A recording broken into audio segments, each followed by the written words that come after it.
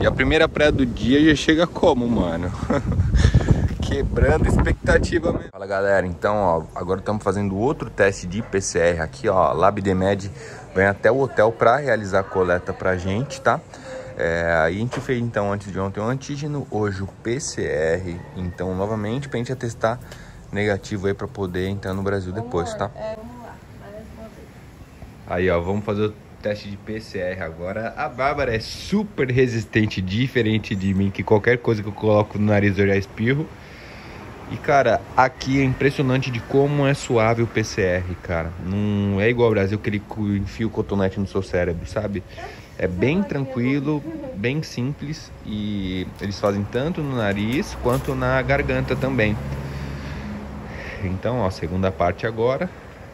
Colocou ali, ó, só um pouquinho na língua lateral. Pronto, acabou. Show de bola. Agora é só esperar o resultado. Olha como já começamos o dia, papai. Estamos aqui na praia Quenepatique, que é a Quenepa pequena, que tem um visual absurdo também. Só que aqui o... foi onde o Waze jogou a gente. Então estamos indo agora para Quenepa Grande, que é um pouco mais famosa do que essa daqui. E depois a gente dá uma passadinha aqui para curtir ela. Então, bora que bora. E a primeira praia do dia já chega como, mano?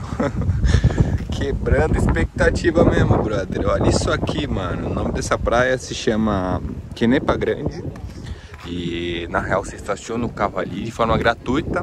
Aqui é tipo um mirante que tem para você admirar a praia. Se você quiser descer por ela, é ali na entradinha lateral. E essa daqui é a praia, cara. Contemple esse visual exuberante, meu brother. Olha isso, mano. Que loucura, brother. Que visual é esse, mano? E aí, gostou? Alô. Acabamos de se acomodar aqui na praia e estamos só admirando esse né? maravilhoso. Pegamos uma sombrinha aqui, porque senão tem que pagar pelas cadeiras. Que é o seguinte, 5 dólares a cadeira, ou então você pode pagar 15 dólares para um conjunto de duas cadeiras e sombrinha. Só que já que é em dólar, a gente preferiu ficar aqui, mano. Tem cadeira, brasileiro, a gente bota no chão e fica. tá acostumado já. Então estamos admirando agora esse bizu animal e partiu entrar na água agora, né?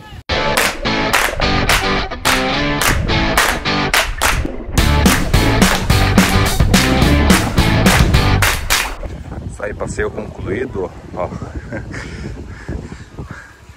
Tipo assim, essa pra- tem, existem outras praias que dependendo do tempo fecha, o tempo abre, muda a coloração da água, né? Cara, desde que a gente chegou tá assim, ó. Absolutamente foda, cara. a segunda parada vai ser Fernando de Noronha. Tô brincando, papai. Aqui é a praia Jeremy. É, na verdade ela fica do lado de Quenepa Grande. A gente ia pra Lagoa, mas eu vou passar aqui antes. E ela tem essa estrutura bem parecida com Fernando de Noronha, que tem essas pedras aqui no lateral da praia.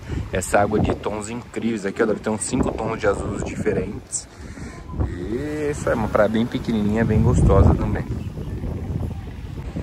Aí chegamos aqui na Praia Lagoon, cara, é uma puta praia foda, animal, pequenininha, bonita, só que, cara, em comparação às outras praias que tem aqui, que é a Jeremy, que é a primeira que a gente foi,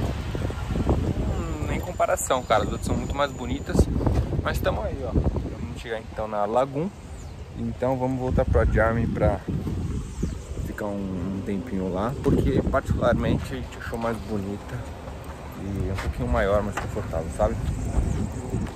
Então, sempre que você vier aqui para a parte do norte, você vai perceber que todas as praias são absolutamente fodas, cara. Todas são muito lindas. E o seu tempo vai ficar disputado aqui. Viemos agora à tarde, ó, no centrinho. Curtir esse pôr do sol maravilhoso. Então aqui tem essa vista absurda, ó. Cartão postal de Curaçao, né? Na real todo coloridinho. E vamos voltar pro Iguanabar ali, onde a gente gostou bastante de vir jantar outro dia para tomar um drink e para curtir esse pôr do sol que eu particularmente sou suspeito para falar, mas tá muito lindo, cara. Então estamos curtindo o pôr do sol aqui, ó, tomando uns drinkzinhos no Iguana de novo. Muito bonito, velho. Paisagem muito foda. E aqui a parada foi o seguinte, Bárbara veio pra cá que queria porque queria tomar um drink que viu no Instagram deles. Aí ela pediu um azul que parecia um smoothie, um sorvete. Quando chegou, chegou isso aqui, mano. A gente não entendeu muito, né, o que tava acontecendo. Mas na porque a foto que ela tinha mostrado tinha dois drinks. O que ela queria e o outro que tava bem pequenininho do lado. Eles trouxeram um outro. no final das contas, o que aconteceu? Pedi mais um, sorte que tá no happy hour e tá metade do preço. 5 dólares agora no happy hour, happy hour. Sobrou pra mim tomar os dois drinks aqui. Ela vai na pina colada. Mas o importante é que esse bizu tá muito foda. E aí, aí, tá chegando o drinkzinho dela agora, ó. Que tá bonito, hein? Que é isso, hein, papai? Uh, tchê, tchê. Não, preciso gravar mais pra registrar esse momento, cara. Que vista absurda, cara. Olha esse céu, olha essa ponte, olha essa... esses prédios. Que parada absurda, brother. Estamos aqui então em Mambo Beach, estamos no Bocas Bar, morrendo de fome, quer dizer, eu tô morrendo de fome, a Bárbara tá tranquila. E ela tá com carinha de brava, ó, que ela queria comer uma carne, ó, e não conseguiu comer, ó. Ela vai ter que comer um macarrão. Eu queria comer um japonês, mas tá 60 dólares. Então, Aí o que que vai comer? 60 dólares, 400 reais. Uma pastinha de novo, mais macarrão. Sete dias direto comendo macarrão, né, mano? Mas aí, ó. Ó o gringo estiloso, ó, ó, ó. Meteu, meteu, meteu. Meteu o charminho?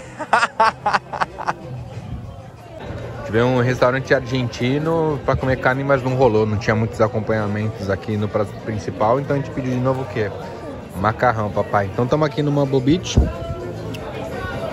Vários restaurantes. Eu pedi um macarrãozinho de camarão. Agora vai pedir de frango. E vamos ver. E aí, vamos ver o que, que você achou da parada.